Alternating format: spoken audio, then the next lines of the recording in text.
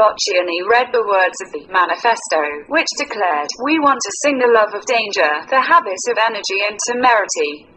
The futurists glorified speed, war, declaring that they wanted to destroy museums, libraries and academies of all kinds. The Futurist Manifesto was therefore an attack on traditional culture. Marinetti, shortly after the publication of his manifesto, met Umberto Boccioni, Luigi Russolo and Carlo Carra.